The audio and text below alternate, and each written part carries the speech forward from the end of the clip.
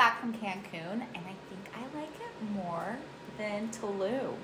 There's just something about Cancun that made me feel safer than Tulum. It's easier to get around and there's not a lot of you know what presence in Cancun. At least I didn't see it or feel it, if you know what I mean. There's no mosquitoes, which is great. It didn't come back with a zillion bug bites. It's definitely cheaper.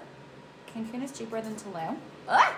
I mean, I can go on and on. There's, there's a giant list. Don't get me wrong. Tulum is gorgeous. The boho theme of Tulum, you're in the jungle. It's just a completely different atmosphere than Cancun. I get it.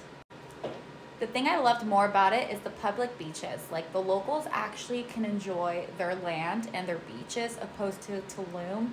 It is so sad that the locals have like a little strip of beach that is between the hotels. I did not, I just, I hated that. Overall, I feel like Cancun is just safer for tourists. I liked it. I don't know. It just made me feel easier to get around and just easy. Made me feel easy, at, at ease. That's what I'm trying to say. Made me feel at ease. I didn't feel like I had to constantly say no to certain things or be on the lookout for a certain type of people. I don't know. I'm gonna definitely make a real pros and cons because there's a lot of good things about both places, but I'm kind of feeling like Tulum is a little more sketchy compared to Cancun for tourists. What do you guys think? Let me know in the comments what you guys think, if you agree or disagree.